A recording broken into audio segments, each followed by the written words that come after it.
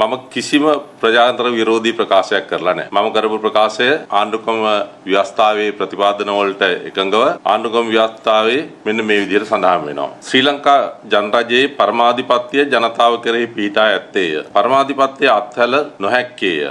පරමාධිපත්‍ය පාලන බලතල මූලික අයිතිවාසිකම් සහ ඡන්ද බලය ඇතුළත්ය. මේ පිළිබඳ ශ්‍රී ලංකා ආණ්ඩුක්‍රම ව්‍යවස්ථාවේ පළවන පරිච්ඡේදයේ හතර යටතේ ජනතාව රජය සහ පරමාධිපත්‍ය යටතේ මනාව විශ්ලේෂණය කර ඇත. මේ යටතේ පළමු පරිච්ඡේදයේ අංක 4 අයන්න සහ ආයන්න ව්‍යවස්ථා යටතේද පරමාධිපත්‍ය ක්‍රියාත්මක වීමේ නීත්‍යානුකූල ස්වභාවය මනාව පැහැදිලි කර ඇත.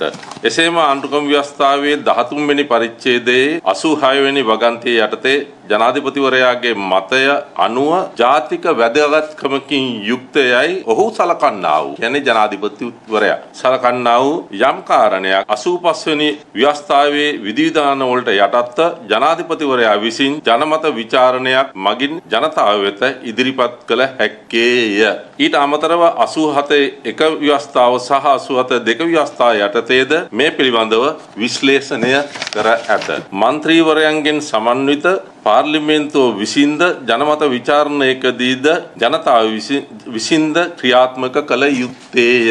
මිට අමතරව ආණ්ඩුක්‍රම ව්‍යවස්ථාවේ 85 වෙනි ව්‍යවස්ථාවෙත් මේ පිළිබඳව සඳහන් වෙනවා. අද ගෙන යන වැඩපිළිවෙල වෙනස් කළොත් කලින් පැවති අඩියටම රට ඇදගෙන වැටෙනවා. ඒ තත්ත්වයට යන්න කවුරුවත්ම කැමති නැහැ. එහෙමනම් මේ ගෙන යන වැඩපිළිවෙල එලෙසම පවත්වාගෙන යන බවට එකඟත්වයට පැමිණ අපි ජනාධිපතිවරණයට යමු. මං කිව්වේ දායකයි.